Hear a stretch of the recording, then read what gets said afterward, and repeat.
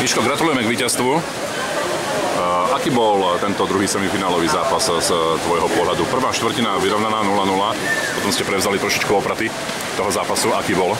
Podľa mňa bol úplne rovnaký ako v Bratislave. Začiatok úplne vyrovnaný, potom sme to zlomili v druhej štvrtine, bolo to lepšie, lepšie a teraz sme sa vyvarovali toho, čo sme v Bratislave v poslednej štvrtine urobili chyby.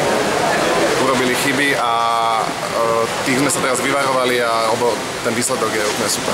Veľa vylúčených hráčov vlastne, tam sa lamal pri tých vylúčeniach dnes?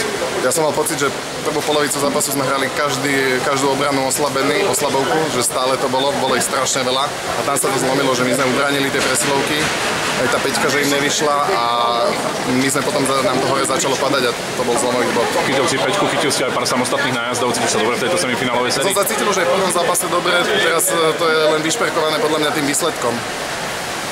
Vyhrávate v sérii 2-0, to znamená, že v nedelu to chce už iba asi potvrdiť? Chceme, chceme to potvrdiť, doma budeme hrať, e, máme to dobre rozohraté, do Košice nám už nechce cestovať e, druhýkrát, takže dúfam, že to doma ukončíme a potešíme našich fanúšikov.